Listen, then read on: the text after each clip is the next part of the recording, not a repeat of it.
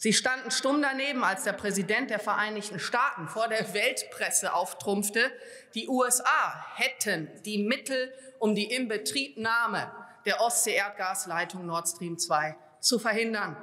Mehr als ein halbes Jahr nach der Sprengung der beiden Leitungen schweigen sie immer noch zu den Verantwortlichen für diesen offenkundig staatsterroristischen Akt. Der Jubel der US-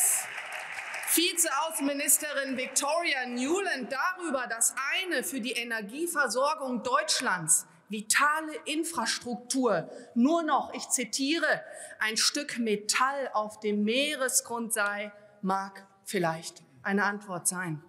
Aber die Bürger dieses Landes erwarten von Ihnen Aufklärung, wer diesen Anschlag auf eine Lebensader der deutschen Industrie verübt hat